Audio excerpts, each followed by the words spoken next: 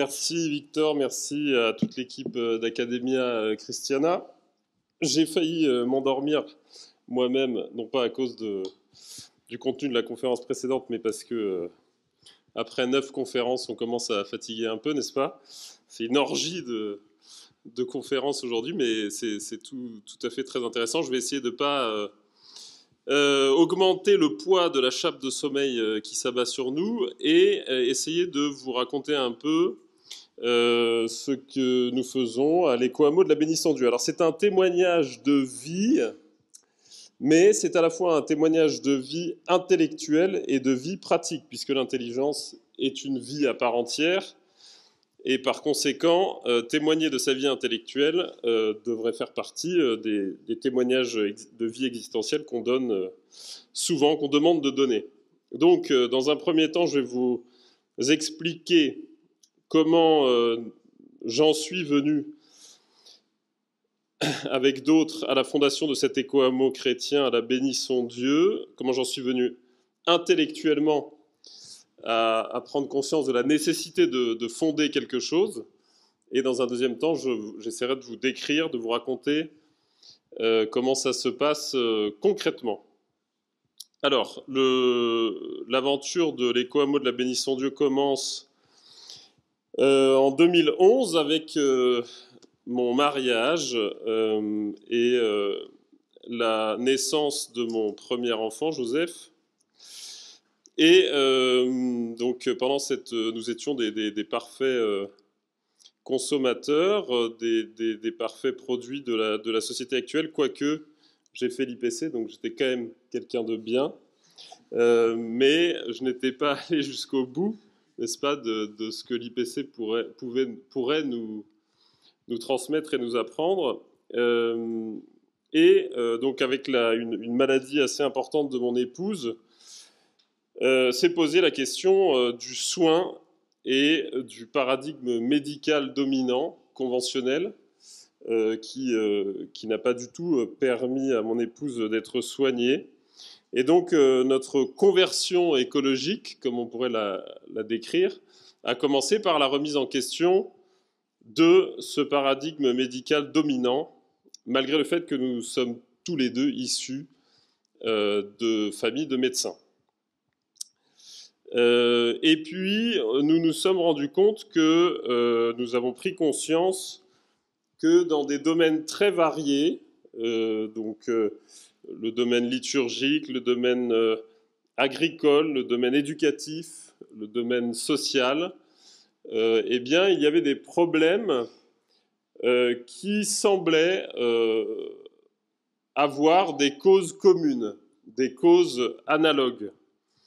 Euh, que je, que, l'intuition qu'on avait, c'était l'intuition assez vague, c'était que cette cause commune ou analogue était le fait de vouloir euh, dépasser la nature par la technique ou la technologie, euh, de ne pas vouloir être dans ce qu'Aristote appelle l'imitation ou le parachèvement de la nature, mais dans le contrôle ou le dépassement de la nature par la technique ou la technologie. C'était une des causes communes à tous ces problèmes qu'on constatait. Euh, et une forme évidemment de désincarnation euh, avec euh, un intermédiaire trop important entre nous et nous-mêmes, entre nous et notre nature et entre nous et la nature non humaine. Et en 2015, nous, donc, euh, il y a eu euh, deux événements qui, ont, été un déclic pour nous. Euh, nous menions ces réflexions en commun avec d'autres amis. La manif pour tous avait été un, moment très, important pour nous aussi, intellectuellement, parce qu'on s'étonnait de, ce, de ce de manifestants euh, qui ne se posaient pas la question de savoir en quoi leur propre mode de vie euh, n'encourageait pas aussi ce qu'ils dénonçaient par leurs donc on s'est dit, il y a quelque chose, il y a un pas de côté euh, à faire. et à ce moment-là, on a découvert les colibris de Pierre Rabhi, Donc ce sont d'affreux gauchistes, hein, pour, pour, paraphraser l'abbé Danziec, mais il y a même chez les gauchistes des choses intelligentes à prendre. Et pour continuer dans le gauchisme, le pape François, n'est-ce pas, qui a publié l'encyclique Laudato Si, euh, euh, dont nous réclamons, donc euh, nous l'assumons, où il y a aussi des choses très intéressantes. Le pape François a souvent, ou peut-être parfois seulement pour, certains d'entre vous, des intuitions géniales qu'il nous convient de développer. Et l'intuition géniale qui se trouve dans Laudato Si, mais qui n'est absolument, absolument pas développée rationnellement, c'est l'intuition de l'écologie intégrale et du fait que tout est lié. Alors qu'est-ce que ça veut dire? Ben, Il faut faire le travail. Euh, Benoît XVI, il nous prémâchait le travail, il nous donnait des encycliques euh, parfaitement structurées, euh, bien rationnelles et, bien, et bien construites. Le pape François, c'est pas le cas, c'est à nous de faire le travail. Alors, on a commencé à faire le travail avec des amis en se demandant qu'est-ce que pouvait bien vouloir dire cette expression écologie intégrale. Alors vous avez eu déjà beaucoup de réponses aujourd'hui. Je vais vous dire rapidement comment moi je, perçois les choses, je, pense les choses. Alors évidemment, euh, je, ne souhaite pas euh, euh, qu'on confisque le mot écologie et qu'on le laisse à d'autres. Je ne souhaite pas non plus le laisser aux seuls scientifiques ou à ceux qui se, prétendent scientifiques. Et donc je pense qu'il est tout à fait possible de penser l'écologie de façon philosophique, en revenant à son étymologie, comme certains l'ont déjà fait avant moi, aujourd'hui, donc euh, l'écologie comme la science de l'oikos, donc comme l'art d'habiter le monde. Alors évidemment, cette définition étymologique, elle entraîne nécessairement euh, l'ajout de l'adjectif intégral, puisque on se rend compte, si on définit l'écologie comme l'art d'habiter le monde, que l'écologie englobe bien plus que les simples rapports avec le milieu naturel ou l'environnement. Par conséquent, l'écologie au sens strict, au sens étymologique, doit être intégrale, c'est-à-dire exhaustive. Elle ne doit pas se réduire à la question de mon rapport avec la nature extérieure. Elle est bien plus vaste que cela, et il y a des questions éducatives qui sont des questions écologiques à part entière. Quelle est la pédagogie qui correspond le mieux à la nature de l'enfant? C'est une question écologique. Euh, au sens large, au sens étymologique du mot écologie. Et par ailleurs, l'adjectif intégral a un autre sens qui est euh, celui de ordonné ou hiérarchisé par rapport au désordre ou au chaos. Donc une écologie intégrale est une écologie ordonnée, c'est-à-dire qu'une écologie intégrale s'oppose évidemment euh, à l'antispécisme ou au wokisme, puisque elle reconnaît que l'être humain a une place à part dans la création tout en étant une partie de cette création. Donc, d'un point de vue, euh, euh, philosophique, euh, l'écologie intégrale nous semblait être le fil rouge de toutes les réflexions qu'on avait menées, de, de tous les problèmes qu'on voyait dans différents domaines, et il nous semblait que c'était la solution qui se présentait à nous pour, euh, pour soigner cette cause commune à tous les problèmes que nous, nous avions l'impression de constater dans différents domaines. Euh, et euh, en réalité, ce qui est important pour des, pour des conservateurs, c'est de retrouver des choses anciennes, n'est-ce pas, et de les revivifier.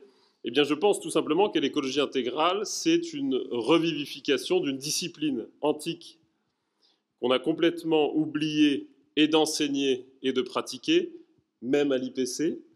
Euh, malheureusement, c'est une discipline qui s'appelle l'économique. Aristote, Xénophon ont écrit des livres qui s'appellent les économiques, et l'économique, c'était une discipline qui était intermédiaire entre l'éthique, qui est la science de l'agir individuel, et la politique, qui est la science du gouvernement de la cité.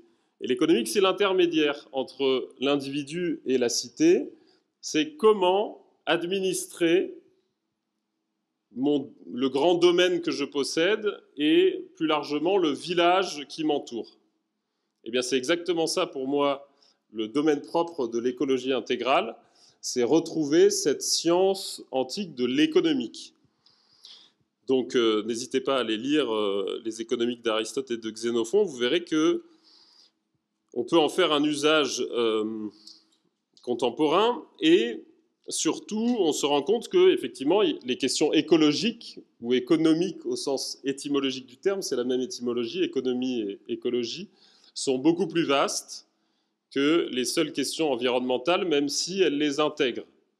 Mais la question de mon rapport à Dieu, de mon rapport à mon voisin, de mon rapport à mon enfant, de mon rapport à ma femme, sont des questions écologiques ou économiques au sens antique du terme. Donc ça n'est pas pour moi une science moderne, l'écologie. Par ailleurs, je milite pour ma part pour une écologie euh, qui ne soit pas uniquement scientifique. Euh, il est tout à fait euh, possible d'aborder les sciences de l'environnement via, via les sciences, tout ce qu'elles nous apprennent, et nous avons eu des conférences très intéressantes à ce sujet cet après-midi. Mais il est aussi possible d'aborder l'écologie et mon rapport aux autres et au monde par l'intermédiaire de la sensation. Je dirais une écologie sensible, une approche sensible de l'écologie. Par exemple, pour ma part, euh, je ne critique pas d'abord la voiture parce qu'elle envoie des microparticules dans l'atmosphère, chose qui est mesurée par la science, mais qui n'est pas palpable ni tangible en tant que telle. Si je critique la voiture, c'est parce que c'est laid, parce que c'est bruyant, parce que ça imprime un rythme qui n'est pas euh, le rythme proprement humain, parce qu'on est tous agressifs en voiture, on ne sait pas pourquoi, mais ça nous rend agressifs, n'est-ce pas? Parce qu'on est dans une espèce de bulle où, tout le monde est un ennemi. Mais ça, c'est une, critique écologique de la voiture qui n'est pas basée sur la science, sur la pollution, vous voyez, mais qui est tout aussi euh, légitime. Et vous pouvez prendre euh, ainsi n'importe quel autre phénomène que l'on peut critiquer de cette façon-là. Et en particulier, il faut passer au crible de la critique tous les, les éléments techniques et technologiques de notre société. Ce qu'il y a d'intéressant, je trouve, chez les Amish, c'est qu'ils ont de magnifiques chevaux, mais avant tout qu'ils ont décidé de faire le tri euh, entre ce qui est euh, techniquement possible. Et ils ont dit, ben, nous, à partir de là, on arrête parce que on trouve que euh, la technologie ou la technique ne nous humanise plus à partir de cette limite-là. Alors, on ne va pas forcément avoir les mêmes critères, les mêmes, les mêmes les mêmes critères que les Amish pour dire quand est-ce qu'il faut mettre une limite à la technique, mais c'est cette réflexion-là qu'il faut que nous ayons. C'est-à-dire se, se, demander, parmi les objets techniques qui m'entourent, qu'est-ce qui est nécessaire ou pas, qu'est-ce qui m'humanise ou pas, et est-ce que je suis capable de mettre une, une, limite et de renoncer à certaines choses, à certains, à certains objets techniques? Et quelles sont les raisons pour lesquelles j'y renonce? Et c'est pas parce que c'est possible que c'est euh, forcément euh, utile ou, que, ça, nous humanise. Donc, euh, à l'écho-hameau de la bénisson Dieu, par exemple, personne n'a de télévision. ça n'est pas obligatoire de ne pas avoir de télévision pour s'installer à la bénisson Dieu, mais de fait, personne n'en a parce que nous n'en avons pas le besoin. Alors c'est un micro-exemple, si vous voulez, mais de la même façon, vous pouvez passer au crible tous les objets techniques qui vous entourent. Est-ce qu'un réfrigérateur est nécessaire? Est-ce que qu'un poêle à bois est meilleur qu'une cheminée à foyer ouvert? C'est une bonne question. Un poêle à bois, évidemment, au niveau rentabilité, c'est bien meilleur. Une cheminée à foyer ouvert, c'est 13% de rentabilité, je crois. Un poêle à bois, c'est 85-90 maintenant.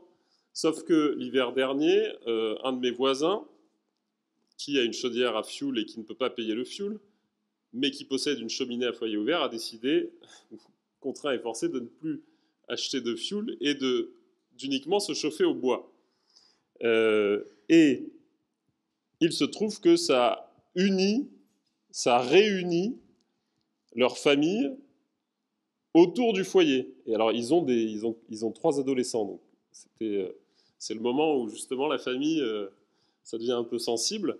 Eh bien, ils, ils, ont expérimenté que la famille s'est réunifiée autour du foyer, autour de l'âtre. Mais concrètement. Et les, adolescents sont, sont, des adolescents, mais ils ont accepté cette sobriété forcée et ils y ont trouvé, euh, ça, a apporté des fruits euh, très grands pour leur famille.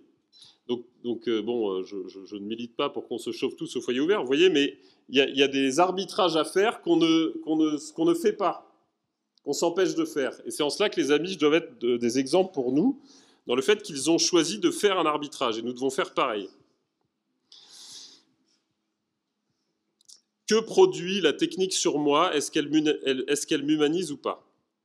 Alors, le point principal euh, que, l'on s'est dit avec euh, mon épouse et, d'autres amis, c'était qu'il y avait, pour, euh, comment dire, pour essayer d'incarner l'écologie intégrale, il y avait une seule solution, enfin une, une solution majeure, c'était la nécessité de l'exode urbain. Partir des villes, se réinstaller à la campagne, mais pas seul, euh, ça, fait partie de la, solution et euh, moi je dis toujours que l'éco-hameau de la bénédiction Dieu, on l'a fondé pour nos enfants. Je ne voulais pas que mes enfants grandissent à Paris. J'ai vécu 8 ans euh, à Paris donc, et le début de mon mariage à Paris. Si j'ai fondé l'éco-hameau de la bénédiction Dieu, c'est d'abord pour mes enfants, mais aussi pour moi. Et pour faire un pas de côté euh, vis-à-vis de cette civilisation urbaine et, euh, euh, technologisée, on s'est dit que partir à la campagne était peut-être le mieux. Nous sommes partis dans un petit village de Haute-Savoie à 1000 mètres d'altitude et nous avons déchanté pendant un an et demi puisque les gens vivent à la campagne comme à la ville avec la télé, la voiture et ils n'ont pas besoin les uns des autres. Donc nous n'avons pas trouvé à la campagne ce que nous cherchions en quittant la ville. Nous avons trouvé la même chose. Et donc nous nous sommes dit, en fait, il faut qu'on crée ce qu'on veut, parce que ça n'existe manifestement plus ou quasiment plus. Donc on s'est réunis, on a écrit une charte, euh, on a imaginé notre lieu idéal, on a écrit à plusieurs diocèses en France, à tous les diocèses de France. Certes, euh, beaucoup, je ne vais pas dire ce que je voulais dire. Beaucoup d'évêques nous ont répondu et nous ont fait des propositions. Euh, et euh, nous avons repris des bâtiments appartenant au diocèse de Lyon dans un village qui s'appelle la Bénissons Dieu, car Saint Bernard de Clairvaux y a fondé l'abbaye de la bénédiction de Dieu en 1138, le jour de la Saint-Michel. Euh, donc, on a appelé ça un écho-hameau, mais en fait, euh, on n'avait pas de mots pour euh, désigner ce qu'on voulait faire. Ce qu'on veut faire, c'est retrouver une chose éternelle, la vie de village. Mais comment vous appelez ce que vous faites? Enfin, comment vous appelez retrouver une vie de village? C'est compliqué. Il n'y a pas de mots pour décrire ce qu'on fait. Un collectif de familles qui s'installe dans un endroit pour retrouver une vie de village, comment vous le nommez? Donc nous ne sommes pas un hameau séparé du village, on s'est installé dans un village existant euh, en achetant des maisons euh, éparses mais euh, accessibles à pied les unes des autres, dans un village où des habitants habitent déjà, 400 habitants. Et nous étions trois familles au départ, nous sommes maintenant huit familles et un célibataire. mais, qu'est-ce qu'il y a Neuf foyers, huit familles, un célibataire qui est un foyer lui aussi à part entière. Et donc, le, on a choisi d'intégrer un village existant parce qu'on ne voulait pas euh, rester qu'entre nous et parce que le village existant permet aussi des opportunités euh, qu'on n'a pas quand on n'est que entre nous. Euh, mais c'est un modèle un peu risqué parce que le pari, c'était que les familles qui voudraient nous rejoindre trouveraient du travail, trouveraient un logement, etc. Donc ce qui, ce qui, permet de faire le tri, parce qu'il n'y a que les, grands motivés qui s'installent. mais en même temps, le pari a fonctionné, puisque nous sommes maintenant neuf foyers, et d'autres frappent à la porte. et euh, ce modèle des coamo chrétiens, c'est le modèle de la communauté politique de base euh, au-dessus de la famille, c'est-à-dire la, communauté politique euh, aristotélicienne, non pas une communauté religieuse, mais une communauté politique qu'on appelle aujourd'hui habitat participatif et non pas habitat partagé. C'est pas une grande colocation, c'est pas comme chez les moines. Chacun a sa maison, son autonomie financière et son jardin, mais on partage des biens, des services et du temps et des compétences. Euh, c'est ce qu'on appelle un habitat participatif. Alors pour ça, il fallait, on avait plein de projets et évidemment il fallait des, bâtiments. Donc euh, le diocèse de Lyon nous a mis à disposition quatre bâtiments que nous avons en bail amphithéotique pour les différents projets associatifs que nous développons à côté de euh, nos métiers respectifs. mais ce qui, fait le cœur de notre de notre vie à l'éco-hameau, c'est d'abord la vie quotidienne. Et c'est pour ça que c'est important que euh, nous soyons euh, accessibles à pied les uns des autres. Euh, donc, on pourrait résumer ce qu'est l'éco-hameau de la bénisson Dieu par l'expression Paris cistercien, si l'on veut plagier le Paris bénédictin de Rothreher. L'idée d'une simplicité volontaire joyeuse, l'idée d'un exode urbain et surtout l'idée que même en temps d'effondrement, il faut construire des choses qui potentiellement vont durer mille ans. C'était le cas des monastères, parce qu'autour de l'an 1000, il y avait euh, plein de prophéties qui disaient que ça allait être la fin des temps. Et il y a quand même des gens qui ont construit des choses qui euh, existent encore aujourd'hui. Donc, de la même façon, je pense que notre état d'esprit doit être le même, même si la fin du monde et pour demain, je dois faire comme si, euh, tout en gardant à l'esprit que la fin du monde est proche, comme si ce que je construis, ce que je bâtis doit durer mille ans. Donc c'est euh, une sorte de pari cistercien. Euh, par ailleurs, donc la vie quotidienne s'organise autour de plein de choses. certaines personnes ont des métiers sur place, d'autres des métiers à l'extérieur. Les mères de famille, parce que nous sommes très genrés, pour la plupart, gardent leur marmot, par conséquent, se, voient souvent. Il y a plein de choses qui se passent grâce euh, aux, mères de famille. Euh, et puis, euh, donc il y a de la prière, il y, a des temps communs, des veillées, il y a un gouvernement partagé, réellement démocratique. Tout ça s'organise, tout ça organise la vie quotidienne. Et ce qui est très important, c'est la question de la taille une question de taille, un livre exceptionnel d'Olivier Ray que vous devez euh, lire. Euh, donc pour notre part, nous pensons que la taille idéale, c'est 15-20 familles maximum, parce qu'au-delà, la qualité de la relation se détériore. Donc ce que vous gagnez en extension, en quantité, vous le perdez en intention, en qualité. Ça aussi, c'est une règle euh, naturelle, universelle. Euh, voilà, et donc euh, autre, euh, autre image pour vous faire comprendre ce qu'est Coamo, ça pourrait être, on pourrait dire que c'est le scoutisme appliqué à toute la vie, le scoutisme continué et non pas brisé en vol par une école de commerce par exemple. Et ou peut-être que vous avez lu ce, magnifique roman L'éveil de Mademoiselle Prime, qui, est, qui est un chef-d'œuvre que j'ai lu à mes enfants ces deux derniers mois, ils ont adoré. Et euh, donc, euh, ce qu'on essaye de faire à l'éco-hameau de la Bénisson Dieu, c'est ce qui se passe à Saint-Irénée d'Artois, euh, dans l'éveil de Mademoiselle Prime. Et je suis l'homme du fauteuil. Voilà, pour ceux qui, qui ont lu. Alors, à côté de cette vie quotidienne et de nos métiers respectifs, on développe des projets associatifs sur notre temps libre. Donc, par exemple, on a lancé une école euh, primaire hors contrat qui va de la petite section maternelle jusqu'à la sixième. On réfléchit à ouvrir le collège. Tout ça est évidemment ouvert à tous ceux qui le souhaitent dans les environs. Chacun essaye de développer des, compétences agricoles, artisanales, artistiques, euh, en plus de son métier. Donc, moi, je suis prof de philo, mais j'ai aussi, depuis trois ans, euh, suivi une formation en apiculture. depuis cinq ans une formation en chant grégorien des premiers siècles, en chant grégorien traditionnel, modal.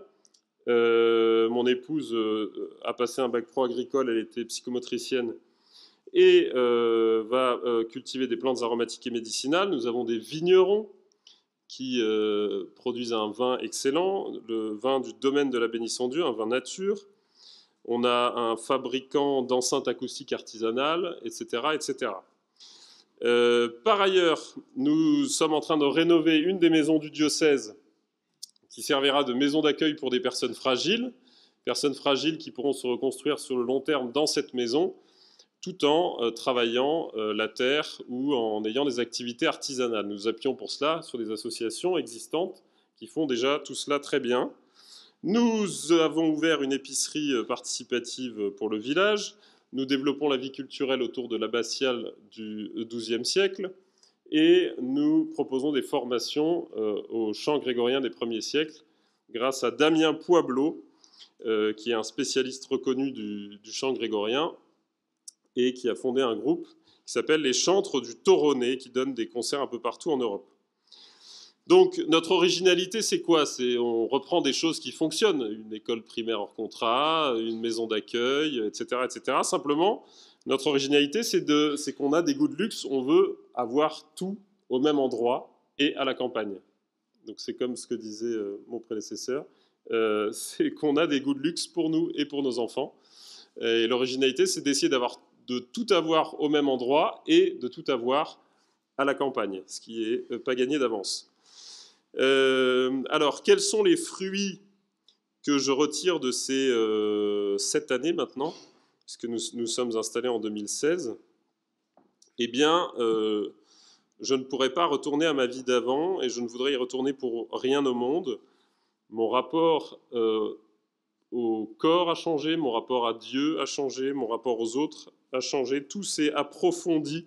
J'ai eu l'impression de passer de la superficialité à la profondeur.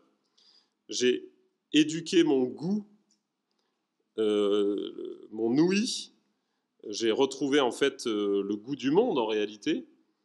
Euh, je me suis d'une certaine façon réincarné.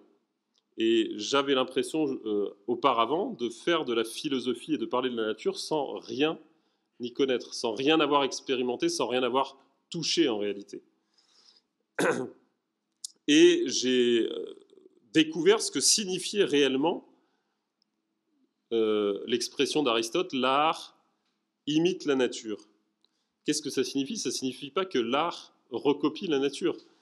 Quand vous essayez pendant 4 ans de faire un enchaînement quarte, quinte, sixte juste, c'est-à-dire euh, avec les harmoniques naturelles, et que vous n'y arrivez toujours pas au bout de 4 ans, ben vous comprenez ce que ça veut dire que d'imiter la nature, ça nécessite une ascèse, et une fois que vous l'avez atteint, c'est euh, une jubilation euh, tel que vous ne souhaitez absolument pas dépasser cette nature que vous avez enfin rejoint. Sauf que nous, ne sommes même pas capables de chanter une carte, une quinte et une sixte juste aujourd'hui. C'est ça qui est fou. Ça fait quatre ans que j'essaye, j'y arrive toujours pas. Donc, euh, euh, et, et, donc d'une certaine façon, le, redécouvrir le chant modal, c'est euh, une écologie du chant, une écologie du son. Retrouver des intervalles naturels, retrouver les harmoniques naturelles que nous avons perdues euh, euh, à cause, en partie, de la musique classique occidentale. Donc c'est un, conservatisme qui va très très loin, hein, parce qu'on remonte, hein, on, remonte pas juste seulement au 19e siècle. on remonte bien avant. Et donc voilà tout ce que, tous les fruits que je tire de, cette, de cet écho-hameau de la bénisson Dieu. Et un autre fruit, c'est que je vis au quotidien avec un affreux gauchiste, Gauthier Besse de Berck, décrit tout à l'heure par le père Danziec comme un affreux gauchiste, et c'est mon voisin, en fait. Donc, vais-je être contaminé? Parce que moi, à la base, je suis quelqu'un de bien. Euh, j'ai fait l'IPC. Demain, j'anime euh, une messe, je chante, je dirige le chant grégorien dans une messe en rite extraordinaire. Donc, si vous voulez, je, là, je suis rentré sans, passe, quoi, parce que ben voilà, je, suis quelqu'un de bien, j'ai le tampon. Alors, mais vais-je être contaminé par euh, l'affreux gauchiste Gauthier Besberg Je fraye avec des gens de l'UMIT, vous imaginez? C'est voilà. Donc, eh bien, tout simplement, même si je ne suis pas d'accord avec sa position sur le sanctuaire en Ardèche, je ne pense pas qu'une question aussi complexe que ce sanctuaire puisse être réglée en deux phrases lapidaires. Mais même si je ne suis pas d'accord avec lui sur ce point, je ne m'amuse pas à lui balancer du gauchiste à la figure, parce que c'est mon voisin en fait, et que lui ne va pas s'amuser à me balancer du droitard à la figure. Parce que quand on est dans la vie réelle, concrète, et qu'on vit avec les autres, toutes ces catégories s'évanouissent en fait. Et, on a, et le but, c'est d'arriver à vivre ensemble, pardon pour cette expression, excusez-moi, euh, à vivre ensemble, à discuter, à débattre. Et là, il y a des fruits qui arrivent, d'accord? Alors que si on campe chacun de son côté en disant Ah, ça le gauchiste, ah, ça le droitard, il n'y a rien qui se produit. Donc voilà. Euh, donc je ferai avec des gens de limite. Et euh, ce que je voulais vous inviter à faire ce soir, c'est d'entrer dans l'action concrète comme mon prédécesseur. Devenez agriculteur, devenez artisan, investissez la ruralité, installez-vous à plusieurs, pas tout seul. Il y a plein de projets qui sont en train de se monter. Il y a l'abbaye de la Lucerne, avec l'abbé Valençon. Il y a l'école Hameau de Bourou en Dordogne, dont certains membres sont présents ici et qui auraient dû parler à ma place parce que eux, ce sont vraiment des gens bien. Ils ne fraillent pas avec les gauchistes, d'accord? Allez voir leur, allez voir leur projet, l'école Hameau du Bourou, c'est magnifique. Et il y a plein de gens qui veulent lancer des choses, donc il faut que, il faut que ça s'accélère et que euh, ces réponses localistes euh, se multiplient. Euh, et je crois que j'ai terminé. Je vous remercie.